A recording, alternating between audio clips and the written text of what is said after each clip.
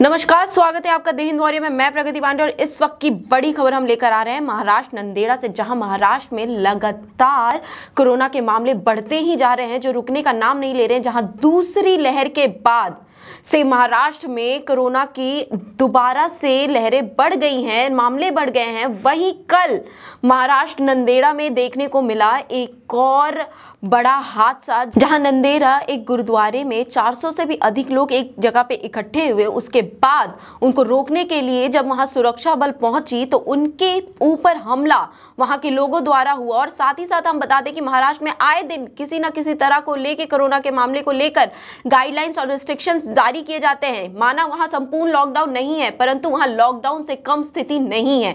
उसके बावजूद कल लोगों ने पुलिस वालों पे जमकर हमला किया। आइए आपको दिखाते हैं हम वो रिपोर्ट और वो वीडियो जहाँ किस तरीके से लोगों ने महाराष्ट्र की पुलिस के ऊपर हमला किया। जहाँ लोग पुलिस कर्मचारी हो या डॉक्टर हो या नर्सेज हो आए दिन कोरोना के मामले को रोकने में लगे हुए हैं जद्दोजहद में लगे हुए हैं कि मामले बढ़े ना वहीं लोगों की इस तरह की लापरवाही उसके ऊपर इस तरह की आ, बेशर्मी देखने को मिलती है कि वो पुलिस वालों पर ही हमला करते हैं। और अब हम आपको बता दें कि 18 लोगों को गिरफ़्तार कर लिया गया है और 400 लोगों पे एफआईआर भी दर्ज हो गई है इस मामले में।